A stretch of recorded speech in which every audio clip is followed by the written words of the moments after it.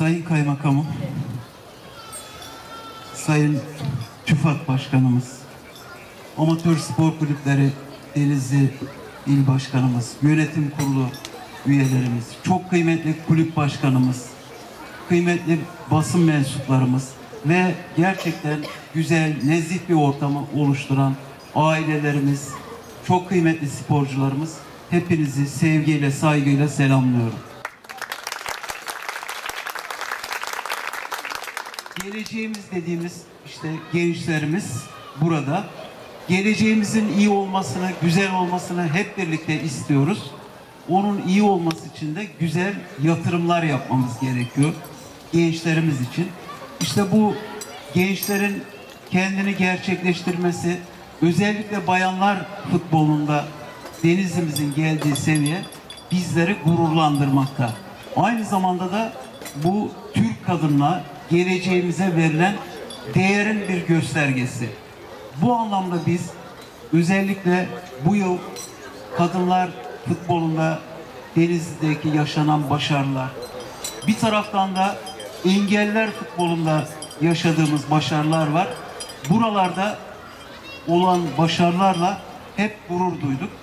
Bu başarıların Denizli'nin diğer kulüplerine, profesyonel liglerde, daha bölgesel liglerde de hepsine ben örnek olmasını diliyorum. İnşallah Denizli futbolumuz her alanda hak ettiği yere önümüzdeki dönemde gelir diye umuyoruz. İşte bu altyapılar, yapılan çalışmalar, bir taraftan bizim Gençlik ve Spor Bakanlığımız, il müdürlüğümüz olarak ilimizde yapmış olduğumuz tesislerin gelişmesi, iyileştirilmesi ve spor ortamının oluşturulması yapmamız gereken en önemli konuların başında gelmekte. Bu anlamda yaptığımız çalışmalar ve sizlerin alanının daha iyi olması, ortamının, futbol ortamının daha güzel tesislerde olması için çalışmalarımız devam etmekte. Tabii ki sadece bizim çalışmamız yetmez. Kulüplerimizin yapmış olduğu özveriler, bugün bir kulübün kurulması, yaşatılması, müsabakalara hazırlanması ve müsabakayı yapması bile takdire şayan bir şey bulunduğumuz koşullar. Hele hele bu başarılar daha da işi taçlandırıyor. Milli sporcularımızın olması çok önemli. Millilik nedeniyle işte bu gençlerimizin birçok avantajları eğitimde, burs imkanları olsun. Son yıllarda çünkü devletimizin aldığı tedbirlerle eğitim mi spor mu ortadan kalktı. Hem spor hem eğitim hem kültür hem sanatla donanımlı bireyler olarak yetişeceğiz.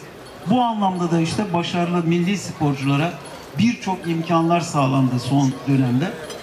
Bu imkanlardan daha çok e, gencimizin, daha çok kızımızın yararlanmasını ben umut ediyorum. Çalışmalarımızda üstün başarılar diliyorum. Bunun daha da arttırılmasını, çıtaların daha yükseklere çıkarılmasını diliyorum.